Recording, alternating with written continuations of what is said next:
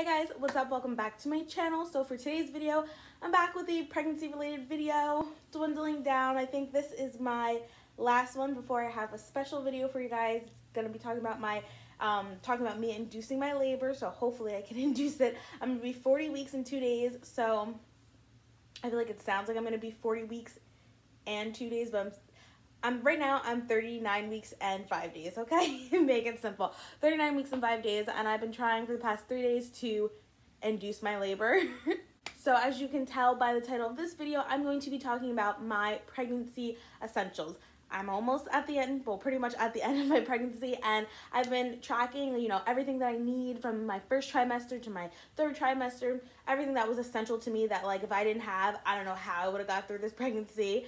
Um, and that if I do go on to have more kids, these are the essentials that I will definitely need when I'm pregnant again. So we're gonna go over that list. I'm super excited to share it with you guys.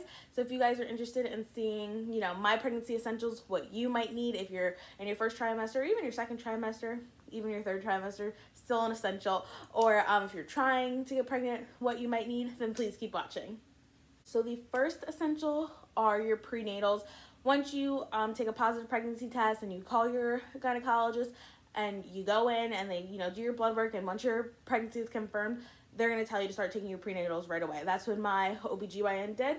And I actually got like a nice little welcome bag from them. So it had a magazine, bunch of coupons, um, like a pregnancy magazine, coupons, and um, prenatal samples so I could see what I liked. I did start off with um, gummy prenatals just because I hate swallowing pills and stuff like that. But um, towards like the second trimester, like the end of it, more middle to end, they were making me so nauseous. I went from the brand, the Olly one, they taste like peaches. Um, then I switched over to, I think Nature Bounty or like Spring Valley. One of those, I think Spring Valley. Um, it was like an assortment of them. They were just making me so nauseous when I tried to switch back and forth between them, but I couldn't do it. So I started taking the one a day prenatals. They were like soft gels. They were huge, but I would take it. And um, that's the only way I could take my prenatals without throwing up. They're very important to take. So I started with gummies lasted for a few months and then I had to switch over. So I'll have them linked down below if you guys are interested. I just got them from Target. But yeah, your OBGYN is going to tell you to take your prenatals. You can ask them what they recommend or just find, you know, whatever ones you like. Next were Tums. I needed them like first trimester. Not only was I super nauseous during my first trimester, if you guys want to hear all about my first trimester, I'll have that video linked down below. um, but I was also having like the worst heartburn and indigestion and I would just feel it at the top of my stomach and I had looked it up and it's so common um, in pregnancy that you feel it right here at the top. And I was just miserable, but Tums would um would help for the most part. They would help for like a half hour and then I'd be feeling crappy again. But it would be nice to have that little bit of relief and it just stunk because I love spicy food. So if I was craving it, I was like, I'm gonna feel sorry later, but I'm gonna eat it now. and I would have it. But yeah, you're definitely gonna need some Tums. Even if they give you just a few minutes of relief, you're gonna love them. the third essential for me was mint tea. I love my tea. I was pregnant. Um, I found I was pregnant like in November-ish around that time. So um, I was in winter during my first trimester. So mint tea, oh, so good. Um, you have to be careful with tea though because of caffeine and I had low iron. I developed that in my pregnancy. So I had to be really careful with the my caffeine take intake but um mint tea i don't know just i love tea it makes me feel so warm and calm so mint tea was an essential for me even if you like hot chocolate just something warm and soothing whatever makes you feel good at the end of the day just to help you get through it because the first trimester is rough hopefully you know you guys had a great first trimester or smooth one mine was absolutely horrible and the mentee will just give me some comfort to have at night and wrap up in a blanket next in shower lotion. I really like the Nivea in shower lotion. It's in like a white bottle. I get it from Target. I get everything from Target. I love Target. Um, that came in handy because I was super lazy in my first trimester just because I felt so crappy. I just wanted to shower and be done with it. So um, I would lack moisturizing my skin, which is not good, especially in the winter. So having that in shower lotion really helped. There's also the Jergens wet skin one, which I like, but doing everything in the shower just made it so much easier. Now, it's not all that moisturizing. I tried the Nivea foam one. No. Didn't do anything, but the, um, is it, yeah, the foam one wasn't good, but the one in the white bottles, like the shea butter one, that one's really good. Stay away from the one in the blue bottle. so the white bottle one that comes upside down was really good. I would put that on in the shower and then if I wasn't super lazy then I would just put some oil on my skin just to steal that moisture in and still have soft skin. But if I was feeling like really blah and lazy then I'd just do the in shower lotion so I had something on my body and would call it a night. Next, this one is optional but an oil cleanser. And you don't need to oil cleanse every day but it's a nice soothing cleanse that you can do one one to two times a week. It's also a really good makeup remover. But if you're like me and you weren't wearing makeup, it's really nice. It's like a nice little massage. I did a pampering skin routine. Um, I'll have that link down below for you guys. And I um, mentioned the benefits of oil cleansing and like just massaging it into your face. It just feels so good. So um, yeah, oil cleanser was a nice essential for me. So when I was feeling good or if I was feeling like a little down, like a little bleh, just because like my body's changing. I felt so huge and uncomfortable and I wasn't even big yet. Um, oil cleansing was a nice pampering routine for me. I wrote this essential down a few months ago, but now I'm seeing like I don't even use it. It's the pregnancy pillow. I haven't used it in months. It was good at the beginning, um, like when I was at my second trimester.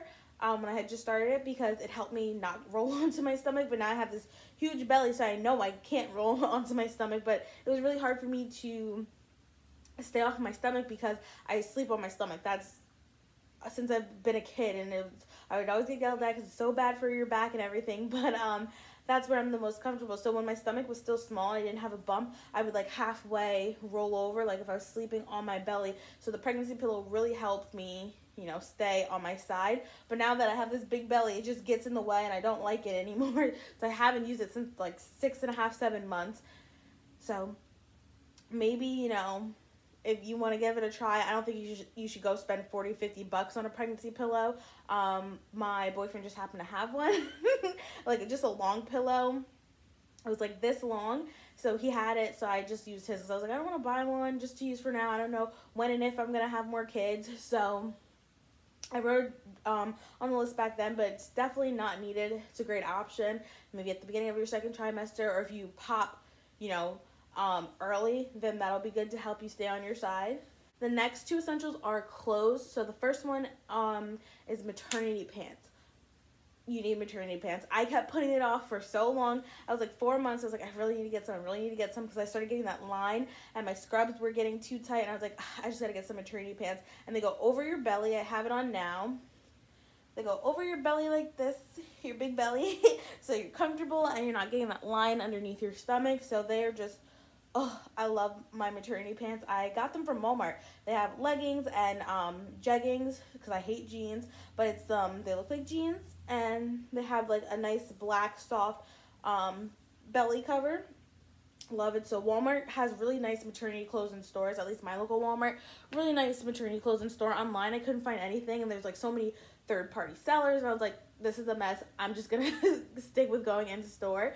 So definitely go recommend going inside of your local Walmart and checking it out. And you can get a set of two for like ten dollars. So definitely good to get some maternity stuff, especially if you don't you don't know you're gonna be pregnant again and you want to go drop all this money and then you don't get pregnant again for like five years and you just spent four or five hundred dollars on a bunch of pregnancy clothes. So I like to budget, but I like my stuff to be cute. And these are just plain cute leggings. also, sports bras became my best friend. I just couldn't do my regular bras anymore. They were just so annoying.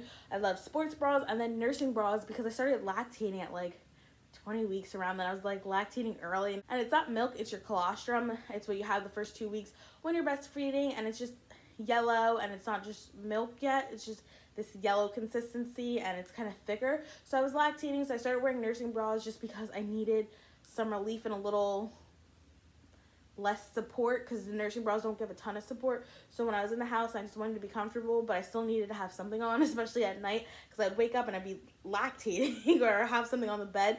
Nursing bras were great. I got mine from Target. Next, the birthing ball became my best friend in the second trimester just because my back was killing me. I already don't have the best back, and becoming pregnant did not help that, especially as my belly was getting bigger and heavier. It hurts so much now. I'm like, oh my gosh, my lower back, I cannot wait for this to be over. But bouncing on the birthing ball, which is just a, um, a medicine ball, bouncing on it, doing your hip circles and stretches, that really, really will help and give you so much relief. I'm telling you. And it's also supposed to help engage your baby, help her drop down lower. So they say, I don't really know what can cause you to go into labor or help you engage it.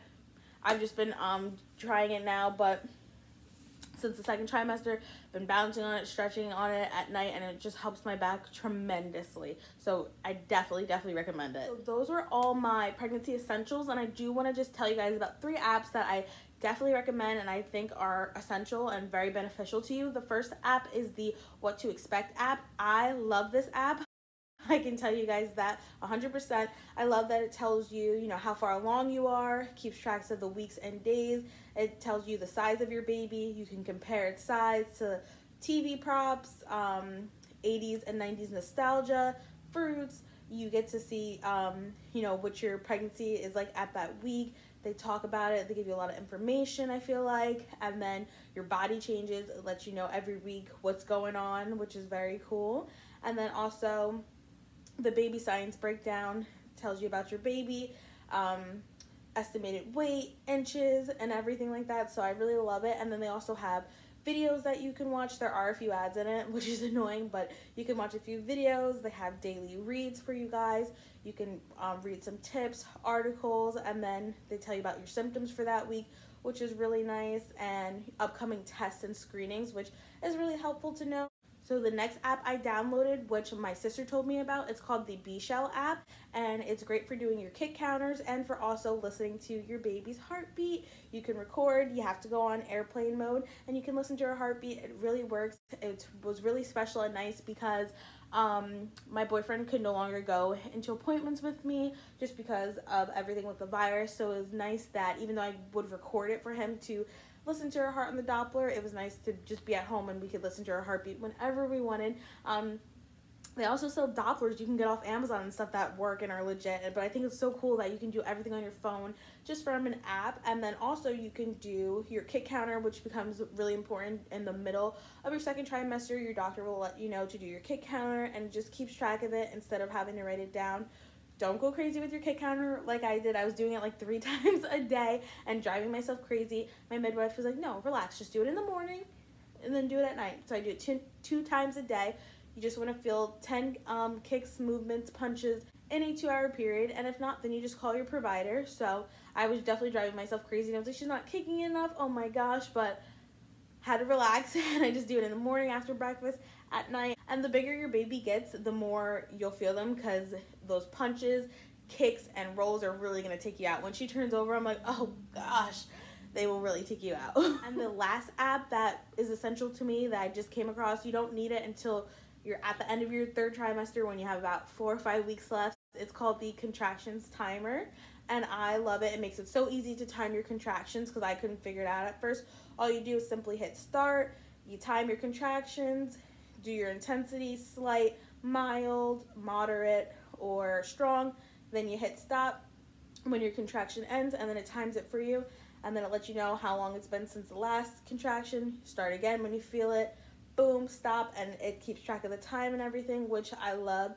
Makes it super easy. Then you can reset it or just simply, you know, keep going when it's time. But I really like it. It makes it so easy because I couldn't figure out how to time the contractions. But this app, they have an app for everything. Thank goodness. It makes everything so much easier. All right, guys. So that is going to wrap up this video. I hope you enjoyed. Um, and this video helps you out about some essentials you may need during your pregnancy and that will help you get through your pregnancy and make pregnancy a little easier hopefully that is the goal for me making my pregnancy related videos it's been so much fun filming this. Hopefully I am able to induce my labor and I can upload my inducing labor video. I've been tracking it every day for you guys so you, you know, know how I did it. so hopefully it works. I'm trying for a week and then if it doesn't work after a week, I'll I will be getting induced next week. If she doesn't come, I'm trying to help her come naturally and do her thing. so hopefully, but if not, this will be my last pregnancy related video, but I have a ton of um, postnatal videos planned out for you guys. I have a list. Let me know if there's anything you guys want to see for my postnatal journey and postpartum videos. Let me know in the comments down below and I will add that to the list. But yeah, thank you guys so much for watching and hopefully you guys will have another video because I will take a break, you know, when she's here, so I'm adjusting to motherhood peacefully. But I will be back with videos. Hopefully, won't take a month, but we'll see. Anywho, thank you guys for watching. Don't forget to like, comment, and subscribe, all that jazz. And I'll see you guys in my next one. Bye.